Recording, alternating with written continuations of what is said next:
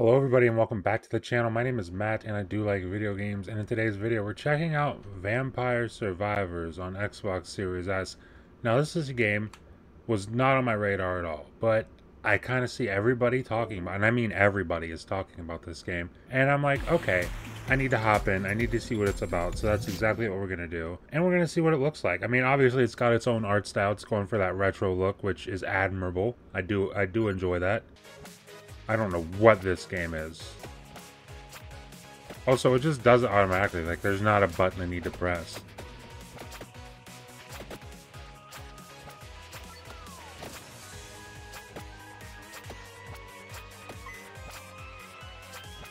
Oh, what's that blue bat?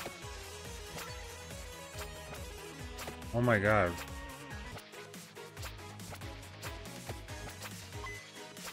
I do like this art style, though. What's funny about that is I don't typically... Like, I don't have a lot of nostalgia for games like this. Like, very simple art style, like top-down kind of game. I don't have any nostalgia for this. Because, of course, I play, like, you know, the SNES. Oh my god, that's a lot of bats. Okay, that's crazy. Oh my god. Gotta focus.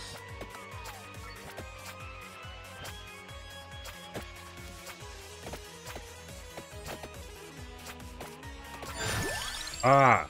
Ooh, I leveled up. I thought I died. But yeah, I played the um SNES. I played the Sega Saturn a little bit over at a friend's house. But I never really... I didn't have it in my house. Like, the first console I had in my house was a, a PlayStation 1. So that was like right when, you know... Obviously they had games like this, but it was like right when 3D was taken off. So it was like, it was cool for everything to be 3D. Like Ape Escape was cool. Like Spyro. Oh my god! Spyro was cool. Um, so yeah, I'm, I am kind of surprised that, like, I can see why people are talking about this game. Is the point I was trying to get at. Like, I was expecting to turn this on and be utterly and completely bored by it within two minutes. That is not the case. I'm actually kind of enjoying it. And I can see why. It's not like the most insane game design, uh, but I can see why people like it because it seems like it's a really easy game. Like, if I died here, it would be really easy for me to just keep playing. And I'm assuming that the point of this game is it's Vampire Survivor, so you just need to survive. All I really know is that it's a roguelike. Oh man. Are they get are these things getting faster? Is that what's happening here? Got that one. Yeah, this is one of those games. I don't know how long I'll keep it installed on my console, but I could see myself on my phone playing this on like xCloud or something before I fall asleep, like every night.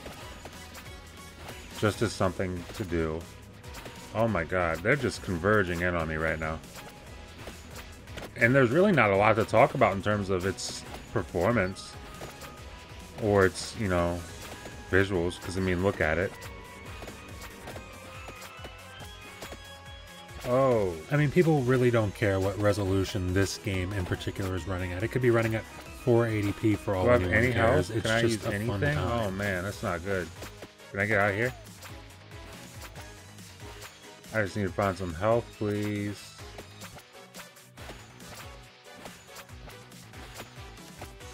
Man, this one won't die. It says I need to go up there, but I'm looking for health. Unless they're leading me to health, that would be nice.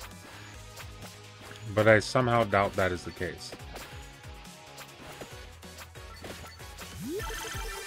Treasure. Oh.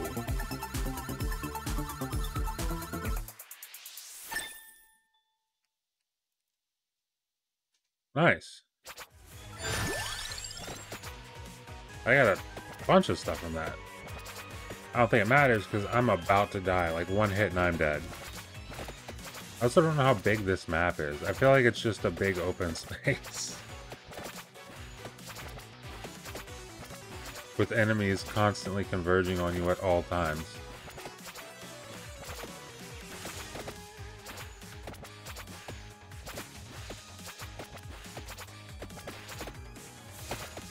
Oh, damn. Oh, I didn't. I was too busy looking up. All right, well, hey, I got an achievement. It's not bad. I reached level 5. I don't know if that's good. I don't think that's good, but I did get an achievement. I survived one minute with any character. I survived way more in a minute. Give me another one. Oh, it survived five minutes. I did five minutes. That, uh... That's interesting.